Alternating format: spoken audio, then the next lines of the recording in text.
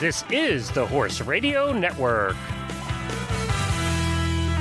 This is episode 272 of Horse Tip Daily, a different horse tip, a different equine topic, a different equestrian expert every day. Horse Tip Daily brings the world of equine knowledge to you one day at a time. This tip is sponsored by FeedXL. You can visit them at feedxl.com. Enjoy today's tip.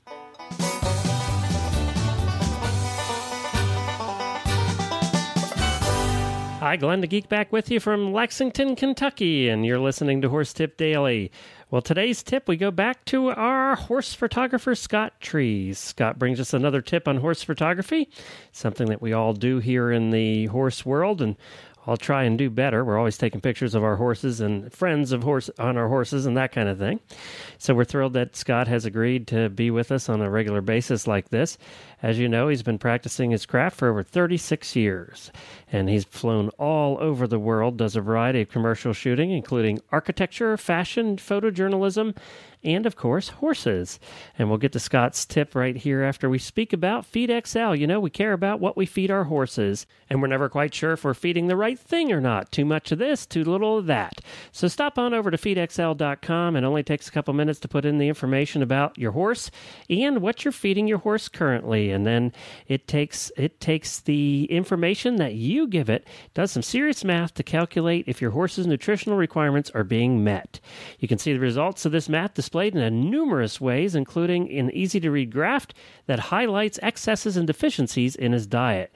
You can learn more about equine nutrition and how to feed your horse for the ultimate performance by feeding by visiting FeedXL's Learning Center.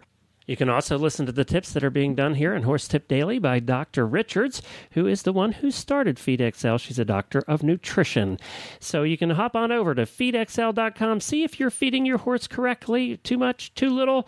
You'll find out, and you'll probably save money by checking it out at feedxl.com. Well, let's say hi to Scott Trees. Well, hi, Scott, and welcome to Horse Tip Daily. Hi, Glenn. How are you today? Good. You know what? Uh, I, I, with you, it's fun because you travel all over the world, and we get to do these tips, and I get to hear about even when we're not, you know, when we're off the air, we're talking about all the cool places you've been. Yet, you know, and, and everybody must be envious of all the traveling cool things you get to do. Yet, you've gone places I don't think I'd want to go. Well, not really. I mean, it, it's yeah, some places. I think there was probably the one opportunity I had that my family went absolutely not was to go into uh, northern Iraq. Oh yeah, okay. Um, with, with the ambassador, with the old, the ex-ambassador of the United States, Iraq was going to meet the northern tribes, and they wanted me to go photo, photograph them, and so I called my family and said, "What do you think?" and got it immediately. You're not going. And it's like, oh darn. um, you know that would that would have been history making. It would have been fun. And but you know, yeah. I mean, but most of the places I go really are unique and different. But I've never been never been afraid ever. So you haven't um, had to um, wear bulletproof vests too much when you're. No, I, yeah, now that's and I have to I have to quantify that too. I don't go to the places where I have to wear bulletproof vests. I mean, it's it's uh, you know, there there are not exactly a lot of horse things going on in that part of the world, but no, it's I've I've been incredibly lucky. I mean, I have had a tremendous, great, wonderful time doing what I do, and I have seen a lot of the world, and I've met a lot of interesting people, and you know, I've basically learned that that in the places where you might be a little uncomfortable. I mean, in the city of the dead in Cairo, or some of these places where I've been, where you know I'm the only American around. I've just everywhere I go, I learn to say hello, please, and thank you in their language, and and find that that and a smile and body language goes a long ways and to to getting you in in situations and out of situations sometimes it might be um, uncomfortable. But well, I've been very fortunate that way. You you have a you have a lot of hello, please, and thank yous in your vocabulary then, because you've been a lot of places. Yeah, I do. I, unfortunately, I have to re- refresh myself all the time, and you know, it's I I that's the one regret I do have. I mean, I took Spanish and German and when I was in uh, uh, junior high and high school. And I remember some of them, but you know, we Americans are very spoiled that we don't have to learn another language, and we really should. Yeah, that's and, true. Uh, I, yeah, and that that's the one area where I wish I, I do okay, but I wish I I was better.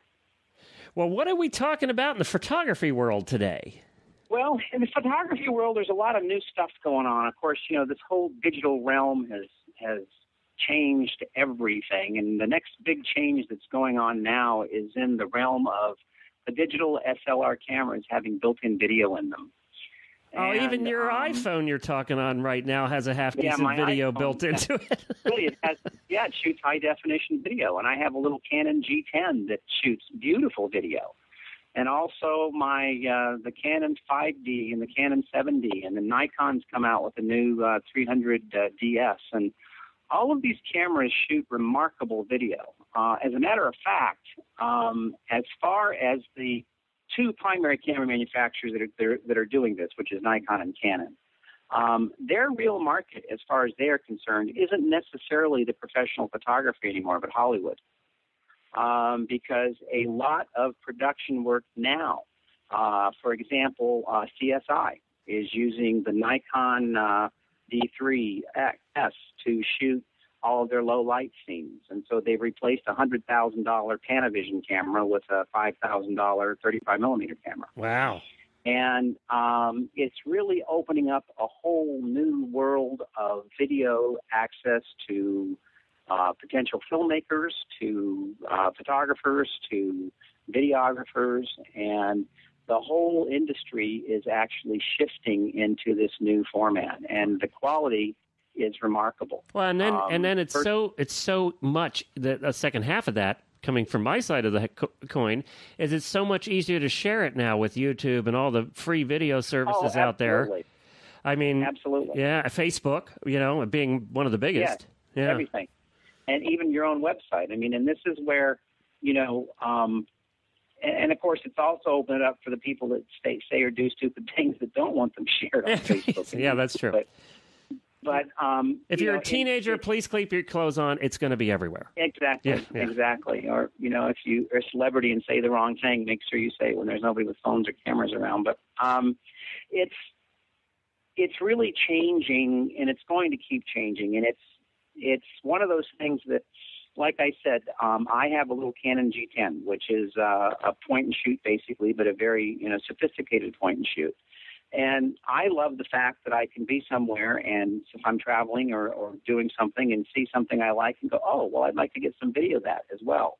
And the neat part about it is, is that you can, all these cameras, you can use it on your recording device, which is either a compact flash card or an SD card of some sort, that you can shoot stills, switch over, shoot video, and in, and in many of the uh, higher end uh, Pro and Pro video or, or digital cam still cameras, you can actually shoot stills while you're shooting video.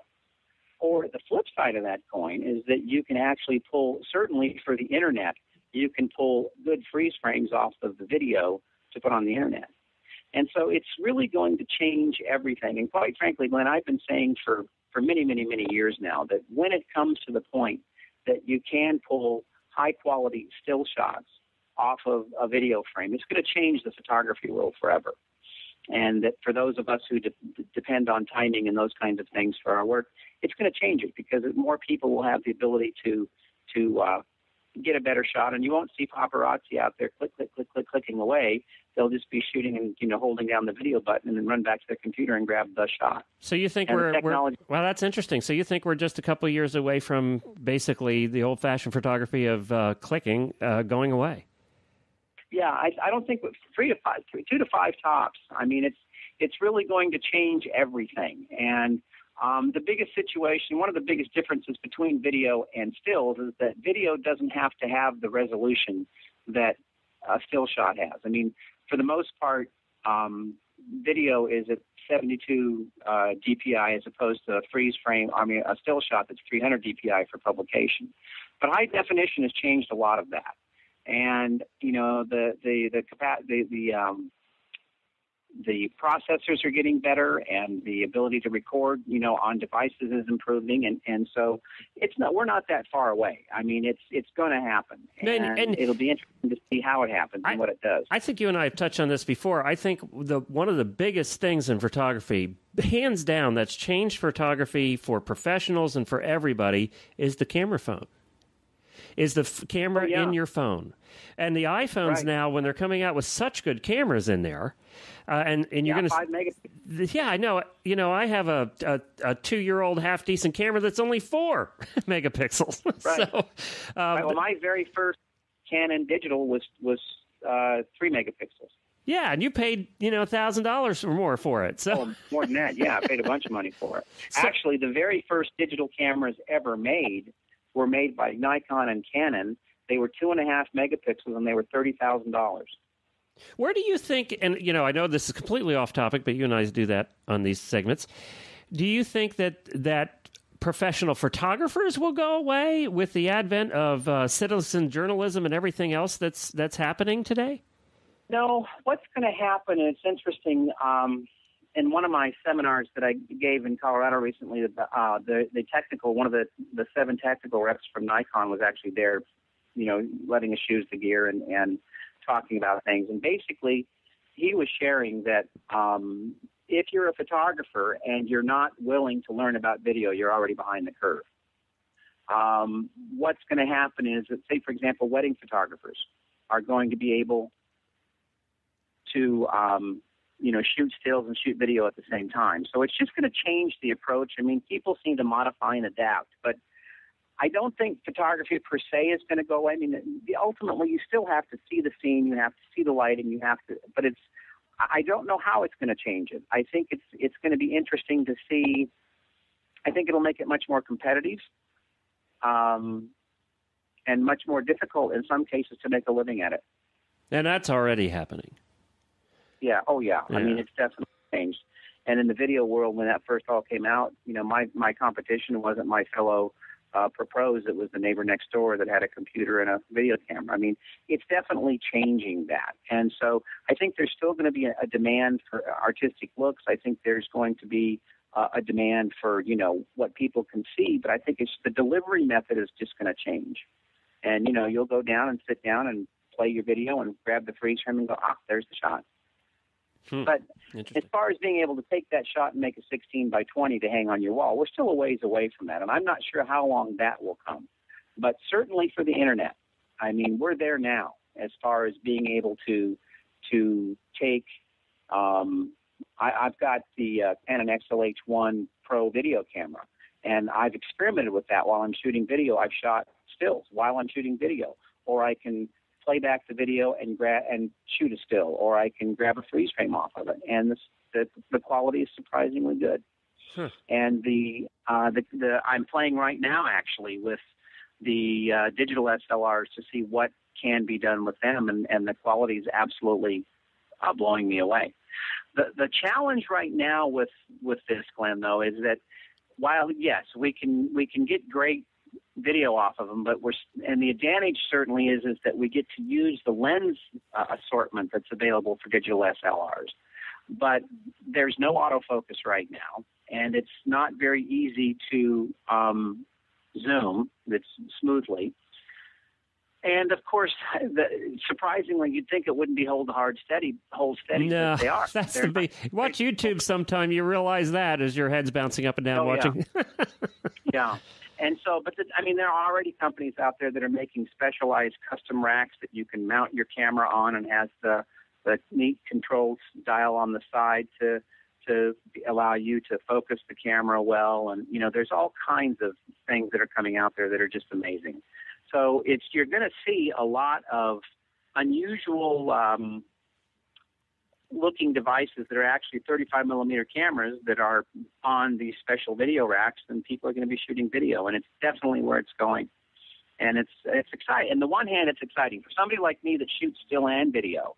And you know, as I've aged in life and realized that you know I don't like hauling all this stuff around, it enables me to to lighten my load by carrying the camera and the accessories I need to make it to use video um, that's exciting. And, and who knows where it's going to go? I mean, you know, uh, but it's definitely a trend that is happening and happening now, and, and now it's happening quite fast. Yeah, that's that's um, the thing like, about the internet and how easy it is to share. Anything electronic now, uh, in another year, it's going to be completely different. Oh, absolutely. You know, I think on one of your other uh, programs we did, I talked about, you know, shooting uh, uh, summer stuff, kids coming out of the horse show. And eventually what you'll be able to do is just, you know, shoot the video and let them come out and then grab a freeze frame and send that to on YouTube or, um, you know, to whoever wants to see it, to grandma, grandpa, whatever.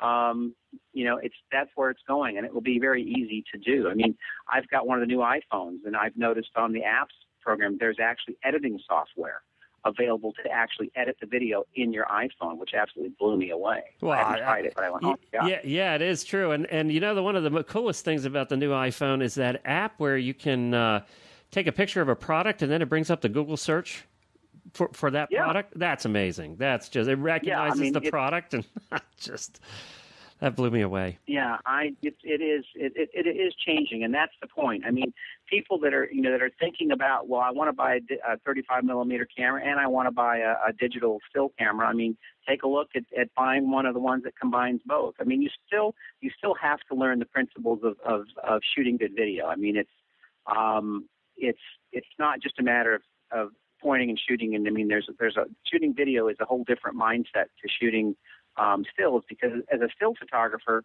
I'm looking at capturing the story in a moment and telling the story in a moment. As a videographer and an editor, I'm looking to try and tell that story in a series of moments. And so you're constantly shooting video going, where do I go from here? You know, especially with horses. It's horses are, are whenever I, I think about explaining, you know, what you're doing when you when you videotape a horse, you're choreographing motion. Right. And so it's a whole different mindset.